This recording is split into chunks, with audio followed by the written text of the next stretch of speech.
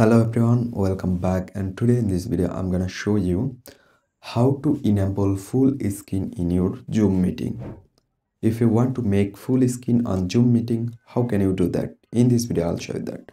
So here you can see uh, if i make it if i make it this is my zoom meeting and if i make it bigger but it's not full screen. There have some other mm, application is showing here if you want to make full totally full screen so that's why you just need to click on the top right corner. There have an option for view. You can see view. Click on here and right now on the last option you can see uh, full screen so just click on this full screen on here and right now you can see your zoom meeting already full screen so in this way you can make your zoom meeting full screen so i hope you can understand and hope guys this video can help you. Don't forget to like and subscribe to my channel